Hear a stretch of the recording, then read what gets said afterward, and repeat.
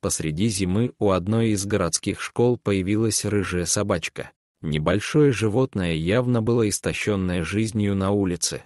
Под кожей выступали ребра, шерсть была грязной, а одна передняя лапка безжизненно болталась. Собака смотрела на окружающих умным взглядом, ластилась к детям, позволяя им гладить себя и облизывая руки в ответ. Детям захотелось помочь животному, а они попросили помощи у одной из учительниц, которая давно занималась волонтерской работой, помогая бездомным животным. Учительница воспитывала в детях любовь к животным не словами, а своим примером, поэтому ученики не стали прогонять измученное животное, а захотели позаботиться о нем.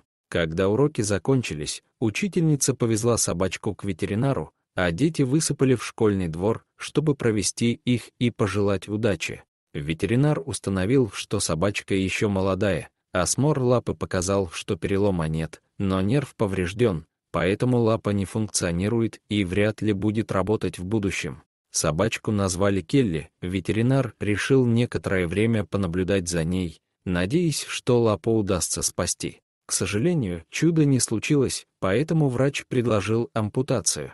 Лапу удалили до локтевого сустава, чтобы в будущем было возможно установить на нее протез, который мог бы позволить Келли вести обычный для животных ее возраста активный образ жизни.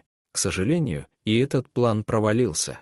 В верхней части лапы пропала чувствительность, поэтому потребовалась еще одна операция, в ходе которой лапу отняли. Келли предстояло перенести еще одну реабилитацию. Почувствовав, что ее любят и о ней заботятся, Келли изменилась. Она перестала стесняться и бояться, стала активной и веселой.